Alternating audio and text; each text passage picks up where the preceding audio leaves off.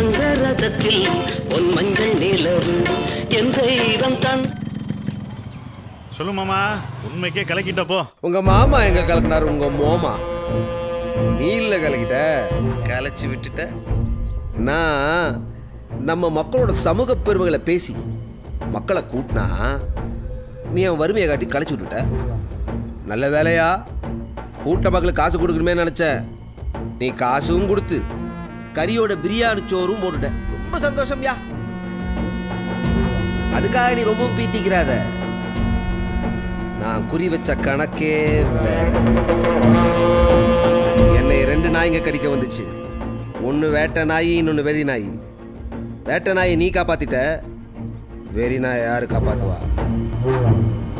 வீரா எரிஞ்ச ஈட்டியை நீ பிடிச்சி எறிகிறவன் ஆனா நான் குத்துனதுக்கு அப்புறம் புடுங்கி எறிகிறவன் பிடிச்சி எறிறவனுக்கு வழி தெரியாது. புடுங்கி எறிறான் பாரு. அவனுக்கு வலி ஜாஸ்தி. இப்ப பாரு தெரியும்.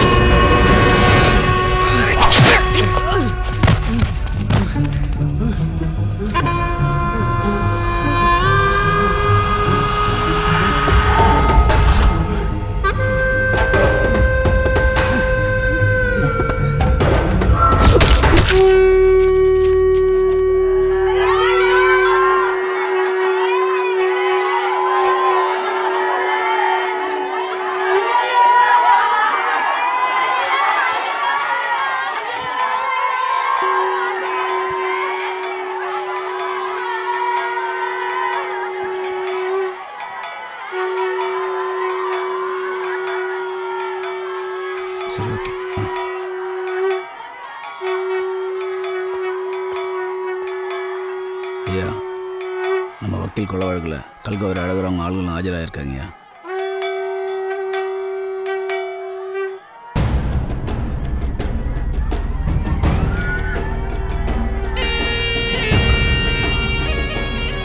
ஏய் யார் வாரான்னு பாரு.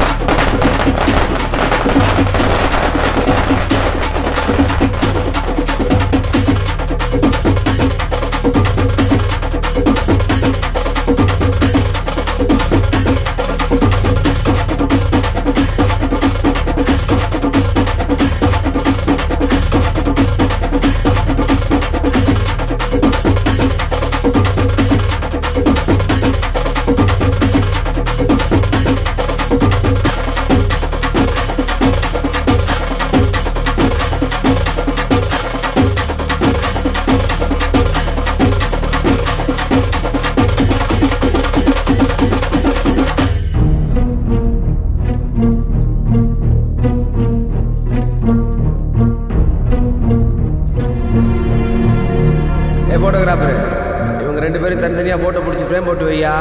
மாலை போட சௌரியமா இருக்கும்.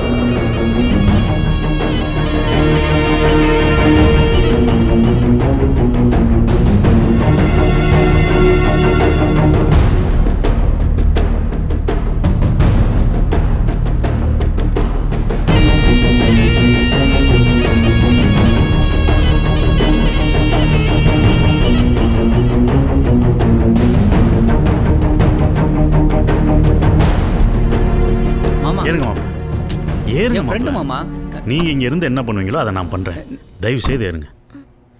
கூட்டிட்டு போத்தா. சரிண்ணே நான் தான் மாமா. ஏறுங்க மாப்பிள்ள. சும்மா கேளுங்க. பத்திரம். போங்க. கண்ணா பார்த்து கூட்டு போ.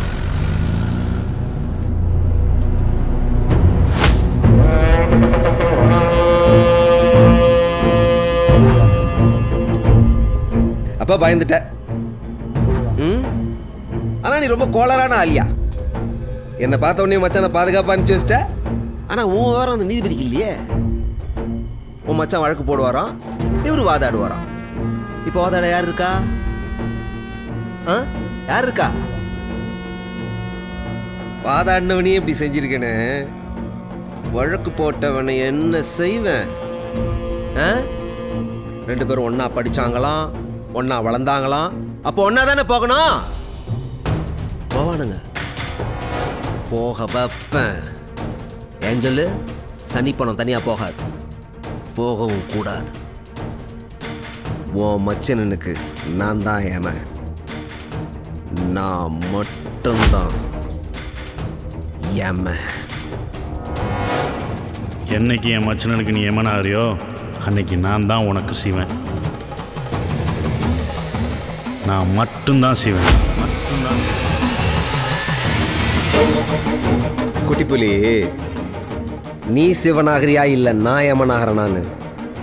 இன்னும் கொஞ்ச நேரத்துல தெரியும்.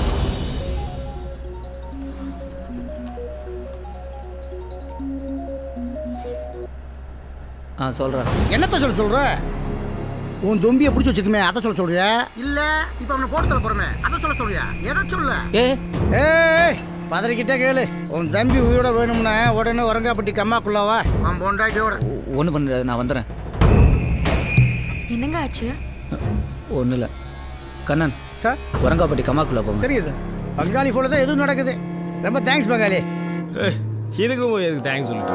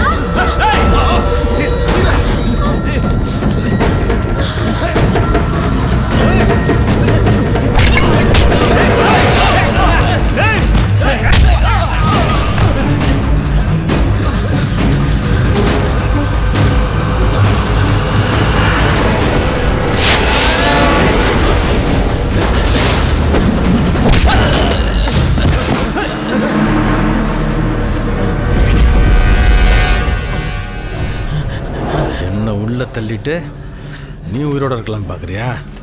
ஆ? இப்போ என்ன செய்ய போகிற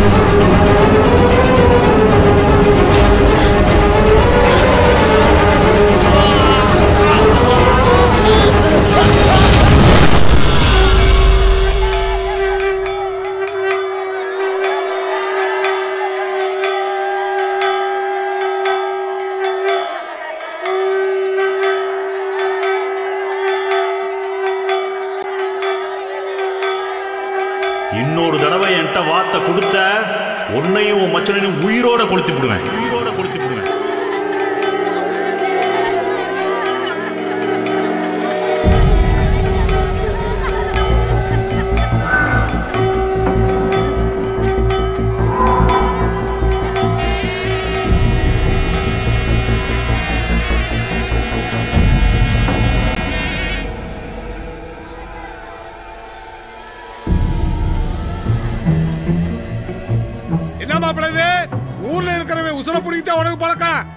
இப்போ ஒருத்தர் உசுர பிடிக்கிட்டானே இப்ப என்ன பண்ண போற?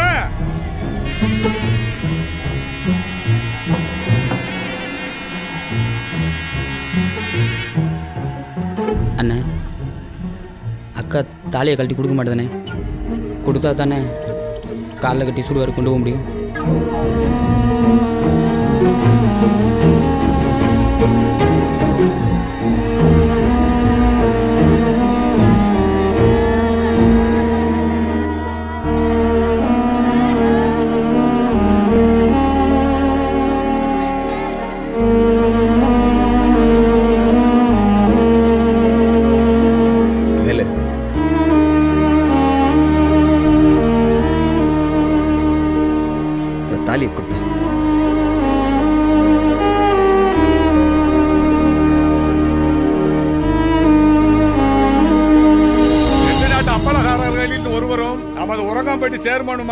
தவசி அவர்கள் தாலி எடுத்து கொடுக்க. மாமா இந்த ஊர் தலைவர் இல்ல. இந்த ஊரே சேர்ந்து எடுத்து கொடுத்தாலும் என் கழுத்துல தாலி நிக்கணும்னா அது எங்க அண்ணன் எடுத்து கொடுத்தா மட்டும்தான் நிக்கும். அண்ணன் நீ எடுத்து கொடுண்ணே.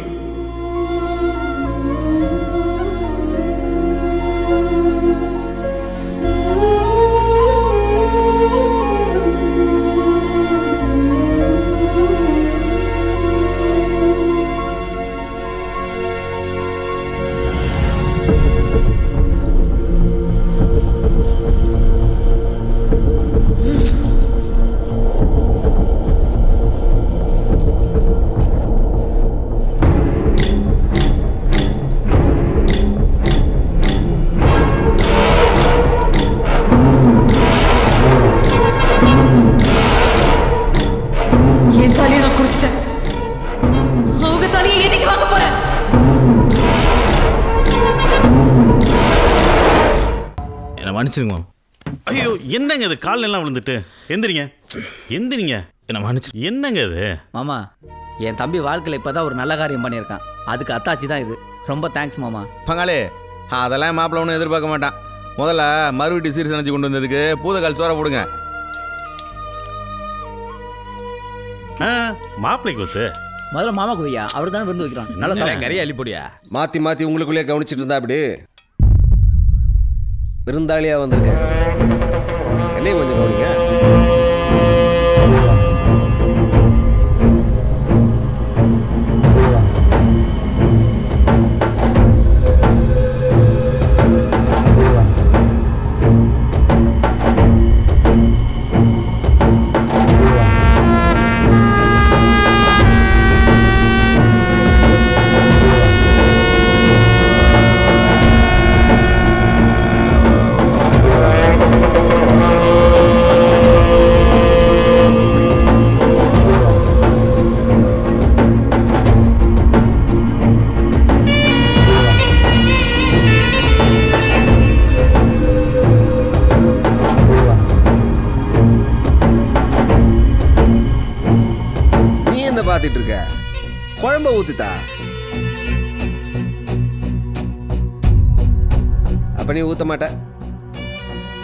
சரி விடு நம்ம வீடு தானே? நானே ஊத்திக்கிறேன். ஏய்.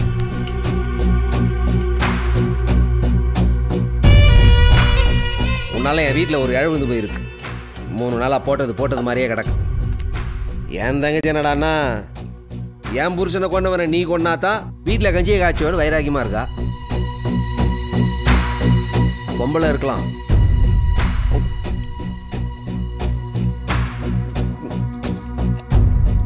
ஆம்பளை நம்மளால இருக்க முடியாதுல்ல? என்ன செய்ய? உங்கள் வீட்டில் கடாச்சோறு போடுறதா சொன்னாங்க. அதான். நல்லா ஒரு வெட்டு வெட்டலாம்னு வந்தேன்.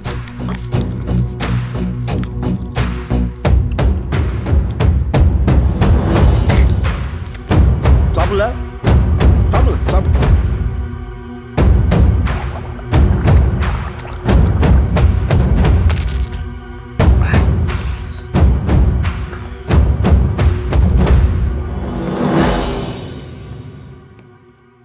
கொடி வீர வீட்டில் சோறு சாப்பிட்டா வெறியேறுன்னு சொன்னாங்க.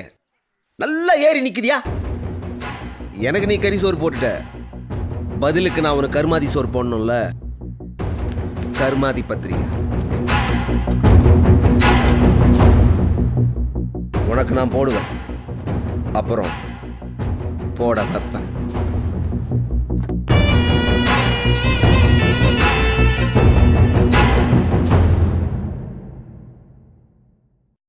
ஃபர்ஸ்ட் ஊர் முறை.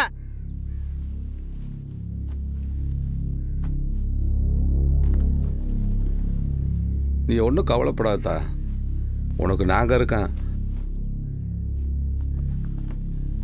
அடுத்து சமந்த வழிமுறை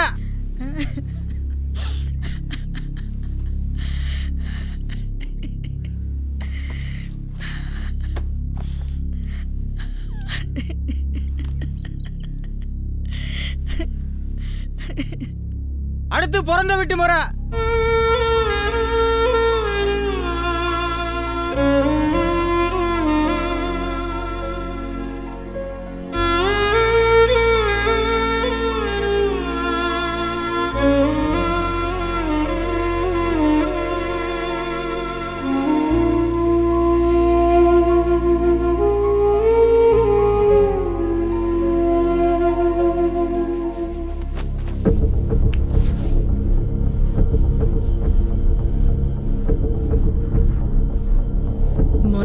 சேலை கொடுத்துட்ட.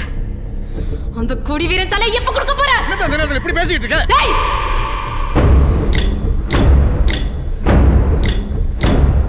நான் நீந்த விட்ட கடாவை வெட்டினது முக்கியம் இல்ல நான் நினைச்சவன நீ வெட்டி எறியணும்!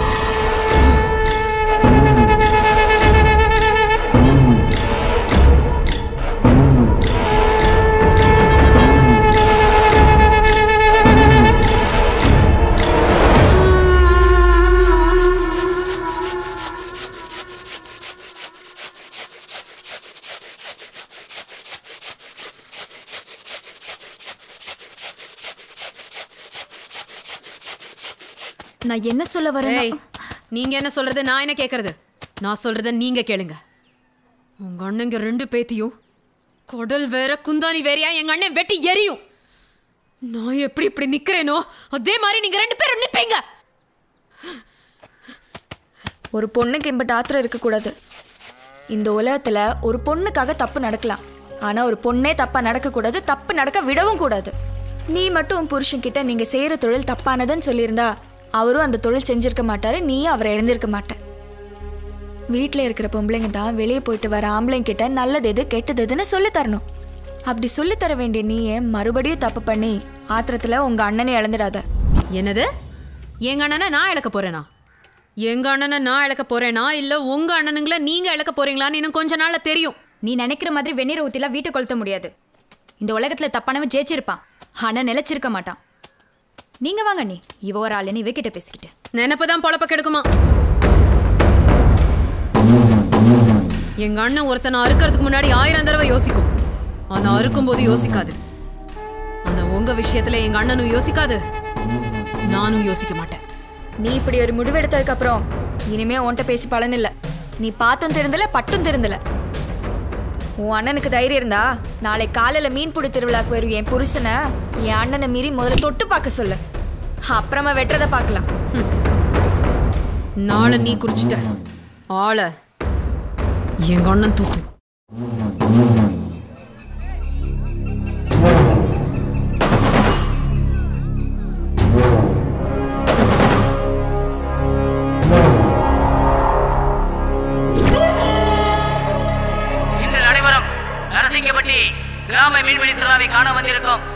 பொதுமக்களையும் வீர வீராங்கனைகளையும் விழா கமிட்டியின் சார்பாக வருக வருக என்று வரவேற்கின்றோம். இன்னும் சில நொடிகளில் மீன்பிடி திருவிழா ஆரம்பிக்க இருப்பதால் மீன்பிடி வீரர்கள் தயாராக இருக்கும்படி கேட்டுக்கொள்கிறோம்.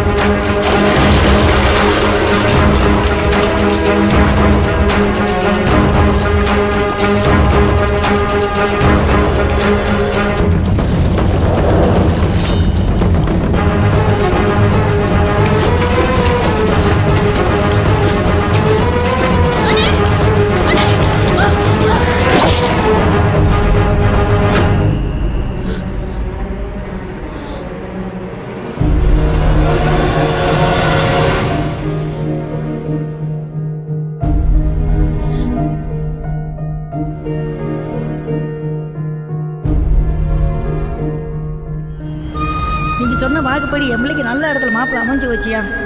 என் பிள்ளை புருஷனோட சந்தோஷமால நீ தான் ஆசீர்வாதம் பண்ணணும். தெரிஞ்சோ தெரியாமலோ ஒரு பொண்ணு கழுத்துல தாலியற நீ காரணமாயிட்ட. அதனால நீ தப்பிச்ச. உன் மச்சனை செத்ததவன் ஆத்திரத்தால தான்யா என்னால இல்லை. இதுக்கப்புறமும் உன் கொலைவெறி அடங்கலைன்னா என்ன கொல்லு என் மச்சனை விட்டுரு.